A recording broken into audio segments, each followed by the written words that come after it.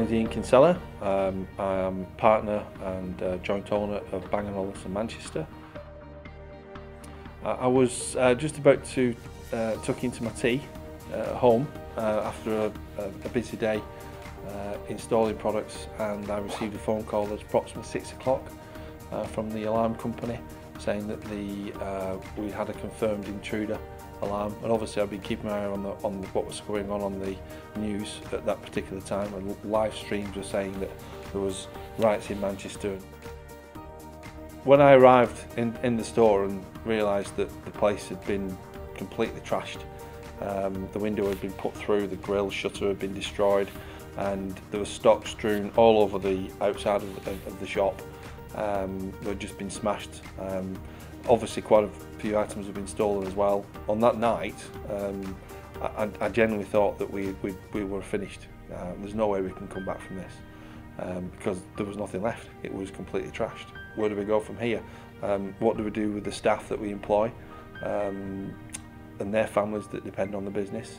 Uh, and it was sad, really. So sad. I wasn't particularly angry um, at these people. I was I was quite sad that uh, all the work we put in had gone. Well, we came. I came back in the following day, um, and my business partner Paul had already been on to um, our broker, insurance broker, who'd already contacted AXA, um, and uh, we were told, "Yeah, don't worry about it. It's fine. Don't panic. We realise what's happened. Um, start taking steps in relation to what you need to start getting back on your feet."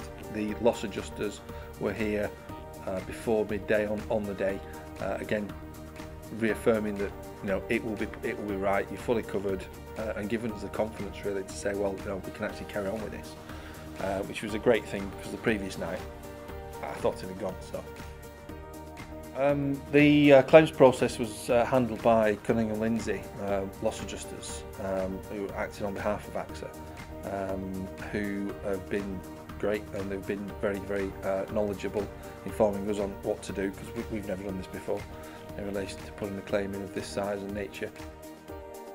The biggest thing that we needed as business owners uh, of a small franchise business really is that we needed the confidence to be able to say, look, you know, it's going to be okay. We needed to be able to put our things uh, straight and get ourselves back back up, up to speed, which wasn't going to be a, a quick process or an easy process, but we needed that confidence of being able to uh, pay the staff uh, their wages, we needed the confidence that we needed to pay our suppliers um, and build the business back to where we were before the 9th of August.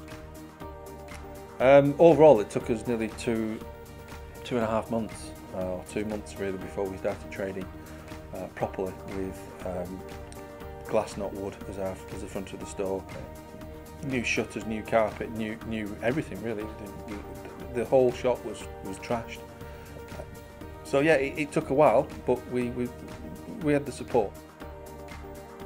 The thing that impressed me most about the claim service really was the, the uh, support we got from the loss adjusters employed by the uh, insurance company uh, and then the prompt payment which then allowed us to uh, keep the cash flow um, buoyant and, uh, and, keep going forward with the, uh, with, with the business.